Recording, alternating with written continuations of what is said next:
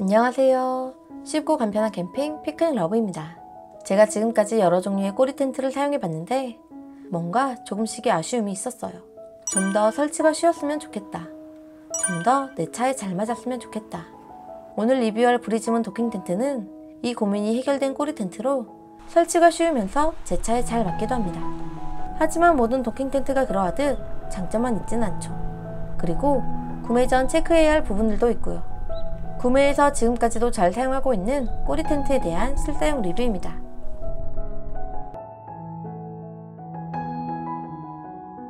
판매 사이트를 보면 여러 가지의 구매 옵션이 있는데 먼저 색상과 사이즈, 우레탄창의 유무, 그리고 기본 형태를 고를 수 있는데 저는 black, large 사이즈, 우레탄창 있는 기본형 모델로 11만원 조금 안되게 구매했습니다. 가격만 보면 다른 꼬리 텐트 대비 비싸 보일 수 있지만 옵션과 품질을 고려하면 적당한 가격이라고 생각됩니다. 먼저 색상은 크림색이 확실히 예쁜 것 같아요. 일반 텐트라면 텐트를 접고 펼 때 땅에 닿기 때문에 오염이 쉽게 발생하는데 꼬리 텐트는 사실 바닥에 닿을 일이 많지 않거든요. 그래서 크림색을 선택해도 오염 걱정은 크게 할 필요 없을 것 같아요. 저는 차량 분위기에 맞게 블랙을 구매했지만 크림이 더 예쁘다고 생각합니다. 사이즈는 제조사에서 제공하는 표를 보고 구매하면 되는데 맞춤형 꼬리 텐트인 디포와 같이 완벽하게 딱 맞진 않지만 그래도 기성품으로 나오는 상품치고는 아주 잘 맞아요. 텐트 사이즈를 선택할 수 있다는 것 자체만으로도 큰 장점이라고 볼 수 있습니다. 형태는 일반형, 폴대형, 확장형이 있고 보통 확장형을 많이 구매합니다. 제가 다른 브랜드의 꼬리 텐트에서 이 확장형을 사용해 봤는데 그늘과 생활 가능한 면적이 확대되는 것은 좋지만 앞에 시야가 가려지기 때문에 답답해서 사용하지 않게 되더라고요. 그래서 저는 가장 저렴한 일반형을 선택했습니다. 일반형이라도 폴대만 있다면 당연히 그늘막을 만들 수 있습니다. 무게는 1.2kg. 보통 꼬리 텐트는 다 이 정도의 무게를 갖습니다. 가방의 부피도 작아서 휴대성이 좋아요. 텐트 설치는 사실 너무 쉬워서 설명이 따로 필요 없는데 하나의 팁을 드리자면 모든 꼬리 텐트는 tailgate 끝 두 부분을 기준으로 설치하는 것이 가장 좋습니다. 다른 부분은 신경 쓰지 말고 먼저 이 꼭지점 두 부분만 맞춰주세요. 그리고 나머지 부분들은 그냥 덮어주면 알아서 잘 맞아요. 브리즈문 꼬리 텐트는 총 3개의 고리가 있는데 양쪽 고리는 휠에, 아래 고리는 차량 하부에 걸어주면 됩니다. 제 차는 차량 하부에 스페어 타이어가 있어서 고리를 쉽게 걸 수 있어요. 그리고 차량과 텐트의 틈은 텐트 안에 내장된 자석으로 부착해주면 되는데 자력이 강한 자석은 아니지만 실제 사용하는데 문제되지는 않고 텐트의 쉬운 설치를 도와주는 아주 좋은 아이디어라고 생각합니다. 설치 끝! 여기서 추가 그늘이 필요하면 폴대를 사용하면 됩니다. 저는 다른 텐트에서 사용하던 폴대를 사용했어요. 이보다 쉽게 설치하는 것이 가능할까 싶을 정도로 아주 쉽고 쉬운 설치 대비 텐트가 제 차에 너무 잘 맞아요. 텐트를 처음 설치해보는 초보자들도 충분히 쉽게 설치할 수 있습니다. 텐트 정리도 설치와 마찬가지로 너무 쉬워서 설명이 따로 필요 없는데 이것도 하나의 팁을 드리자면 우레탄 창을 기준으로 잡는다. 이렇게 생각하면 정리가 쉬워요.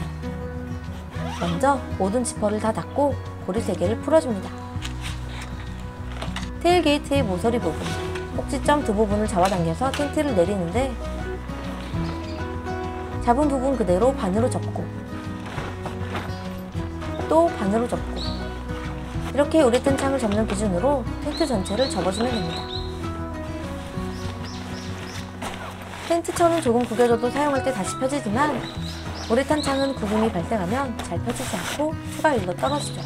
그래서 다른 부분은 신경 쓰지 말고 일단은 우레탄 창을 기준으로 접는 것이 좋습니다. 그러면 나머지 부분도 어느 정도 정리가 됩니다.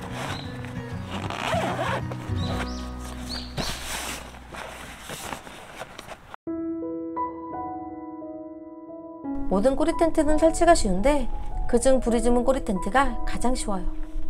사실 이 가격에 공간이 확장되는 도킹 텐트도 구매할 수 있는데 그럼에도 이 텐트를 구매하는 이유는 캠핑을 좀 더 쉽고 간편하게 즐기기 위해서죠. 캠핑의 목적성에 부합되는 쉬운 설치라고 생각합니다. 보통 도킹 텐트는 차량과 연결할 때 스트랩을 이용합니다. 헤드레스트나 손잡이에 걸고 추가로 휠에도 걸죠. 그런데 브리즈문 꼬리 텐트는 스트랩이 아닌 탄성 있는 밴드를 사용하고 있어요. 이 밴드가 실제 설치 환경에서 정말 너무 편해요. 나머지 뜨는 공간은 자석을 이용하죠. 고리로 인한 휠 손상이 걱정되는 분들은 고리에 천이나 고무를 덧대면 됩니다.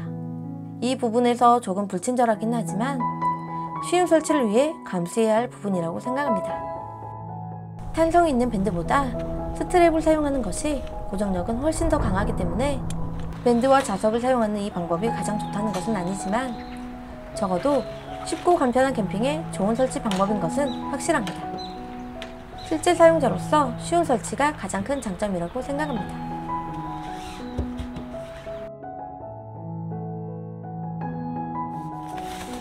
자외선 차단 코팅에 옥스포드 210T 그리고 PU 2003 구조 만져보면 일반 얇은 폴리보다 훨씬 튼튼한 원단이라는 것이 느껴집니다. 그래서 눈은 물론 비에도 강한 모습을 보여줍니다. 방수 능력 자체는 아주 좋아요.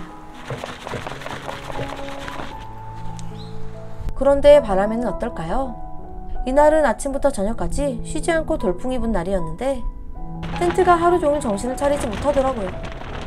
사실 이 부분은 브리즈문 제품만의 문제는 아니고 프레임이 따로 없는 모든 도킹 텐트는 바람에 약할 수밖에 없어요. 방수 능력 자체는 여름 장마에도 충분히 견딜 수 있겠지만 바람이 심하게 불 때는 사용하지 않는 것이 좋습니다.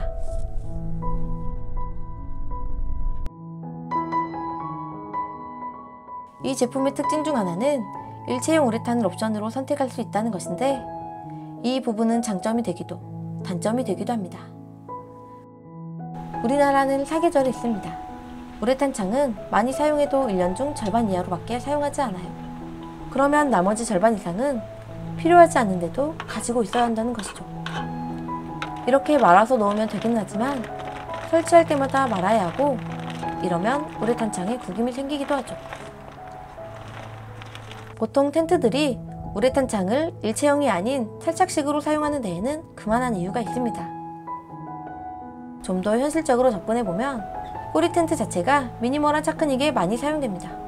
난방기구가 필요한 추운 계절보다 따뜻한 계절에 더 많이 사용할 수밖에 없는 텐트이고 그렇기 때문에 꼬리 텐트의 실제 사용자들을 기준으로 볼 때 우레탄 창은 더욱더 필요 없다고 볼 수 있죠. 일체형 우레탄 창이 보기에는 좋아 보이지만 장점만 있지는 않기 때문에 구매 전 본인의 캠핑 스타일을 잘 체크해 보는 것이 중요합니다. 브리즈문 꼬리 텐트뿐만 아니라 모든 꼬리 텐트는 차박을 편리하게 해줄 뿐 공간의 확장이 되지는 않아요. 차량 내부가 시각적으로 좀 더 쾌적해질 수는 있겠지만 실제 활용 가능한 차량 내부 면적에는 차이가 없다는 거죠. 그렇다면 이 꼬리 텐트는 언제 사용하는 것이 좋을까요? 먼저 여름에 트렁크 모기장으로 사용하기 좋아요. 그리고 크진 않지만 그늘막으로 나만의 공간을 확장할 수도 있죠. 겨울에는 우레탄 창을 이용해서 추운 날에도 바깥뷰를 감상할 수 있습니다. 차박하면 우중 차박을 떠올리기 쉬운데 이렇게 트렁크 열고 view를 보는 것이 보기에는 좋지만 바람이 조금만 불어도 차량 안으로 비가 들이쳐요. 꼬리 텐트를 사용하면 비가 올 때도 평온하게 바깥 view를 감상할 수 있죠. 스텔스 차박이 편리하긴 하지만 살짝 답답할 때가 있고 꼬리 텐트가 그 답답함을 간단하게 해결해준다고 보면 됩니다. 패키지 부피가 작기 때문에 차에 항상 넣고 다니면서 종종 사용하고 있습니다. 꼬리 텐트 특성상 보통 차박 텐트 구매 경험이 없는 분들이 구매하기 쉬울 것 같아요. 초보자 입장으로 봤을 때 나중에 아쉬울 수 있으니 한 번에 좋은 옵션으로 구매해야지. 이렇게 생각하기 쉽습니다. 판매자 입장에서도 마진율이 높은 윗등급 옵션을 판매하기 위해 선물도 추가로 제공하죠. 이런 사은품들은 일종의 마케팅이고 그렇게 중요한 것이 아닙니다. 내가 집에 여분의 폴대가 있는지, 전면을 가리는 확장 타프가 필요한지 이것만 보고 옵션을 선택하면 됩니다. 더 나아가 사이드까지 구매하는 분들도 계시는데 다양하게 사용한다는 나름의 장점이 분명히 있겠지만 이 가격 그리고 이 수고로움이면 그냥 설치용 도킹 텐트를 사용하는 것이 훨씬 낫다고 생각합니다. 꼬리 텐트는 심플한 차크닉용에 가깝고 차크닉에 맞게 설치가 편해야 많이 사용하게 됩니다. 최대한 심플한 것이 좋아요. 저는 기본형으로 구매해서 사용하다가 필요에 의해 구성품들을 추가로 마련하는 것이 훨씬 현명한 소비라고 생각합니다. 항상 즐거운 캠핑 그리고 알뜰한 캠핑하세요. 감사합니다.